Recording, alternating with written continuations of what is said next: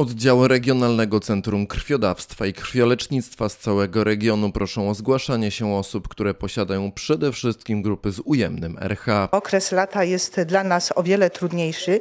Dawcy wyjeżdżają na urlopy, y, zmieniają swoje miejsce zamieszkania. No, w związku z tym liczba dawców zdecydowanie się zmniejsza, a w związku z tym zmniejszają się zapasy w banku krwi we Wrocławiu.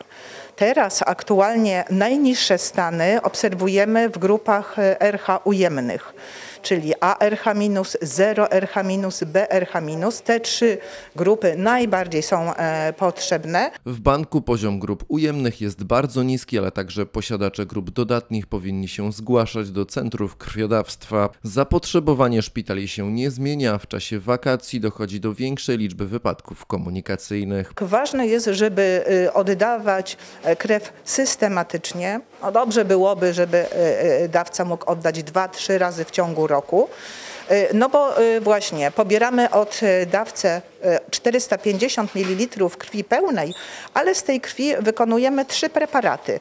Koncentrat krwinek czerwonych i te krwinki czerwone żyją do 42 dni. Oprócz tego mamy jeszcze koncentrat krwinek płytkowych, króciutko ważny, do 5 dni. No i jeszcze zamrażamy osocze, ono jest ważne e, co najmniej 2 lata. Dzięki temu jeden dawca może pomóc aż trzem osobom. Ja się cieszę, że przychodzę, że oddaję, że mogę komuś pomóc, a przede wszystkim dzieciaczkom małym. Wszystkim, ale dzieciaczkom najważniejsze. Jak byłam synem w ciąży i potrzebowali dla dziecka właśnie krwi. I, ale jak syna urodziłam, tak zaczęłam zdawać, zdaję. Nic nie boli, robię to drugi raz. RCKiK organizuje także akcje terenowe. Najbliższa odbędzie się 17 lipca na rynku w Chojnowie, gdzie pojawi się specjalny autobus. Warto dodać, że jednym z przywilejów krwiodawcy są nadal dwa dni wolnego po donacji.